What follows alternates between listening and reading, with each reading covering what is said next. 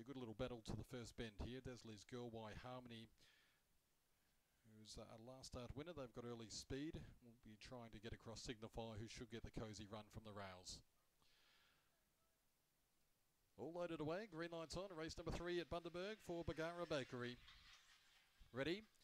Racing, pinging the lids, Desley's Girl. Speed from Y Harmony to get to second. Railing through to third is Midnight Gambler around the outside. Scarlet's return with Slippery Worm getting well back in the field. Signify trying to improve. Fluoro Fella Tiffany twisted last of all. Favourites in front and looking good. Desley's Girl. Two clear on Y Harmony who might issue a challenge shortly. It's going back to the inside and three away third is Scarlet's return. Y Harmony got the inside. Dash to the lead. Desley's Girl out very wide trying to come again. Y Harmony. Desley's Girl hit it side dash to the lead. Desley's girl out very wide, trying to come again. Y Harmony, Desley's girl hit it. Y Harmony or Desley's. Desley's girl got wide on the bend and probably lost at least two lengths to Why Harmony, but she's been very gritty over the final stages to come again and score. signifying really rocketing home late for third in front of